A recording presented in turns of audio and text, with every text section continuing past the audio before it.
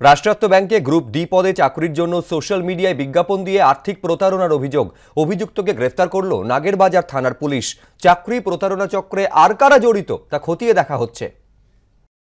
কখনো স্কুল শিক্ষক পদে, কখনো আবার পুলিশে চাকরি দেবার নামে প্রতারণার পর, এবার রাষ্ট্রায়ত্ত ব্যাংকে চাকরি দেবার টোপে টাকা হাতানোর অভিযোগ উঠল।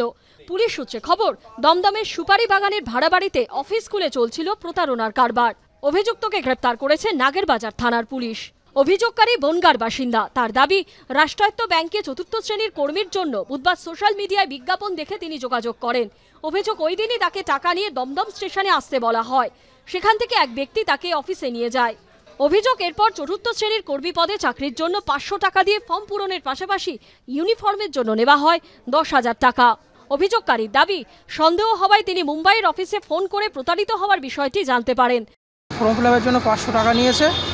আর হচ্ছে স্টাফ মানে ওখানকার জামা কাপড় দেবে ড্রেসপত্র দেওয়ার জন্য দশ হাজার টাকা ক্যাশ নিয়েছে। চাকরি দিতে পারেন না না।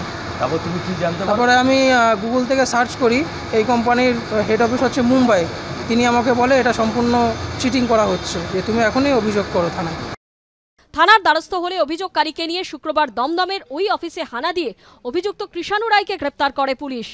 প্রাথমিক তদন্তে পুলিশের অনুমান, ব্যাংকে চাকরির টোপ দিয়ে বেশ কয়েকজন চাকরি প্রার্থীর কাছ থেকে টাকা তোলা হয়েছে। প্রতারণা চক্রের জাল কতদূর বিস্তৃত তার সন্ধান চালাচ্ছে নাগেরবাজার থানার পুলিশ। জয়ন্ত পালের রিপোর্ট, এবিপি আনন্দ, কলকাতা। হেলমেট পরে রাতভর ব্যাংকেই লুকিয়ে থাকার পর সকালে ব্যাংক খুলতেই গয়না নিয়ে চম্পট। ইয়েস ব্যাংকের বালিগঞ্জ শাখায় বন্ধকি গয়না চুরির ঘটনায় গ্রেফতার হাউসকিপার। বাজেয়াপ্ত করা হয়েছে প্রায় আড়াই কেজি সোনার গয়না। ধৃতকে আজ আলিপুর আদালতে তোলা হয়। হেলমেট ও মাস্ক পরে গ্রাহক সেজে ব্যাংকে ঢুকে সবার নজর এড়িয়ে রাতভর শৌচাগারে লুকিয়ে থাকা। ব্যাংক কর্মীরা বেরিয়ে যেতেই অপারেশন শুরু। ব্যাংকের নথি রাখার আলমারি ভেঙে কোটি টাকার গয়না লুট। পরের দিন সকালে ব্যাংক খুলতেই চুপিসারে বেরিয়ে যাওয়া। ইয়েস ব্যাংকের বালিগঞ্জ শাখায় বন্ধক রাখা গয়না লুটের ঘটনায় ব্যাংকেরই হাউসকিপারকে গ্রেফতার করল লালবাজারের অ্যান্টি বগলারি শাখা। বাজেয়াপ্ত করা হয়েছে, খোয়া যাওয়া আড়াই কেজির বেশি সোনার গয়না।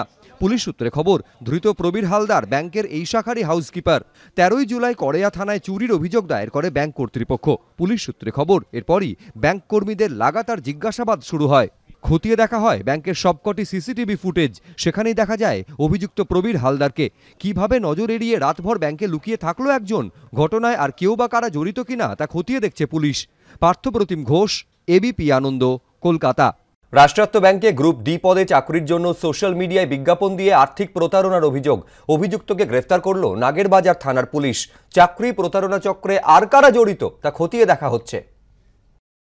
কখনো স্কুল শিক্ষক পদে, কখনো আবার পুলিশে চাকরি দেবার নামে প্রতারণার পর, এবার রাষ্ট্রায়ত্ত ব্যাংকে চাকরি দেবার টোপে টাকা হাতানোর অভিযোগ উঠল। পুলিশ সূত্রে খবর, দমদমের সুপারি বাগানের ভাড়া বাড়িতে অফিস খুলে চলছিল প্রতারণার কারবার। অভিযুক্তকে গ্রেপ্তার করেছে নাগেরবাজার থানার পুলিশ।